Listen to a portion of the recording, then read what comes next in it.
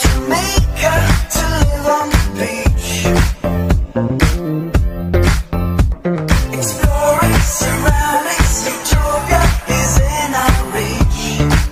Thank